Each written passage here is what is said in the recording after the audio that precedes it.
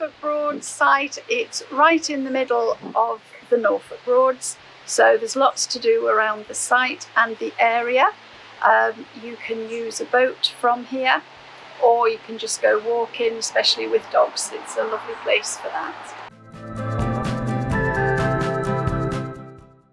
We have hard standing, grass and service pitches on site.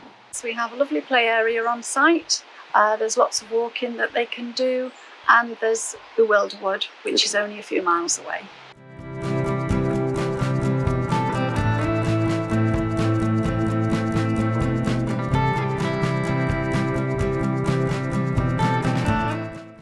Hickling Broad is very nice because if you hire a small boat, which dogs are allowed to go on as well, you can get under the bridge and it's not too busy.